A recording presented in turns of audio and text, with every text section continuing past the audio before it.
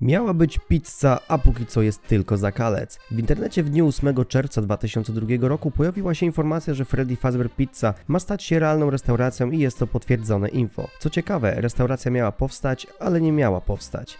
Miało być menu, ale go być nie miało ale pizzeria być miała. Wiem, że jest to dość zawiłe, więc postaram się Wam to jak najprościej wytłumaczyć. Istnieje strona o nazwie Virtual Dining Concept. Jest to zbiór wirtualnych restauracji, które w rzeczywistości nie istnieją. Najlepiej będzie jak wytłumaczę to na przykładzie. Załóżmy, że jesteś znanym influencerem lub gwiazdą i chcesz stworzyć swoją markę z jedzeniem, jednak nie chcesz ryzykować i otwierać restauracji. Przypuśćmy, że stworzyłeś cztery różne kanapki nazwane cztery pory roku, a Twoją wirtualną restaurację nazwałeś kanapkowo. Piszesz do strony Virtual Dining Concept, że masz pomysł na swoje jedzenie i nazwę restauracji, a oni zgadzają się na współpracę. Od tej pory strona będzie szukać potencjalnych fizycznych restauracji, budynków, w których będą robione Twoje kanapki. Przypuśćmy, że Pizza Hut się zgodzi. Bierze do siebie Twoje menu i składniki i tworzy Twoje kanapki. Nie można ich zjeść i zamówić w restauracji Hut, a jedynie zamówić z dostawą do domu lub do odbioru osobistego. Listę wirtualnych menu, jakie powstały za sprawą strony i influencerów, znajdziecie na oficjalnej stronie Dining.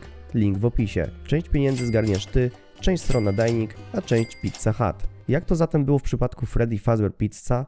Ano było to tak. 8 czerwca wyszło ogłoszenie o treści. Właściciele restauracji, zostańcie naszymi partnerami i zacznijcie sprzedawać pizzę Freddy'ego w dostawie, co oznaczało poszukiwanie chętnych lokali do stworzenia fast fooda. 9 czerwca powstała oficjalna strona na Twitterze mająca na ten moment 30 tysięcy followersów. Na Twitcie jest nawet link do oficjalnej strony pizzy Freddy'ego, która znajdowała się na stronie Virtual Dining. Wszystko oczywiście działo się we współpracy ze Scottem. Dnia 20 czerwca na Twittera został dodany trzeci i ostatni post, a później wyszła informacja, że współpraca Scotta została zawieszona. Link Do strony pizzerii FNAF teraz przenosi bezpośrednio do strony głównej Virtual Dining. Do tej pory nie ma żadnych informacji o kontynuacji współpracy. Pizzy nie było i jeszcze długo nie będzie. Podejrzewam, że żadna z restauracji nie była zaznajomiona z tematem gry, a Scott nie jest żadnym sławnym influencerem, dlatego po prostu nikt nie chciał ryzykować i wchodzić we współpracę. Jedyną formą pizzy, jaką możemy spróbować na ten czas, to zrobienie własnej z przepisu zamieszczonego w książce ze świata FNAF stworzonej przez Scotta.